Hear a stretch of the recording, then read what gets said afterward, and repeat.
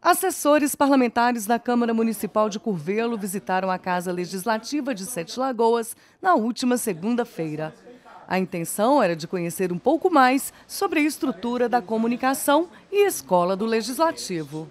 Estamos reativando o setor de comunicação e a gente veio conhecer a estrutura aqui da Câmara de vocês, que a gente tem como referência, né, quando se fala em comunicação, a TV Câmara, também a gente veio para ver um pouquinho sobre a Escola do Legislativo, que é o nosso pró próximo passo que a gente quer implantar na Câmara de Curvelo.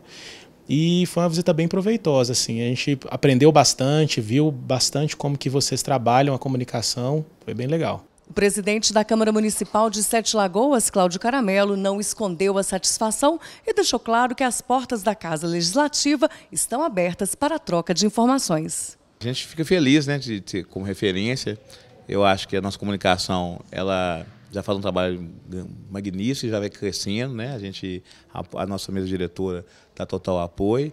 Curvelo é uma cidade que é próxima da gente aqui também, que a gente tem um intercâmbio muito grande e com muita satisfação. E a gente está né, tá de portas abertas para não só Curvelo, como toda a região que quiser vir cá aprender com a gente, nós estamos de portas abertas. A visita foi muito produtiva, mas a gente possivelmente deve voltar né, para aprender com vocês aí.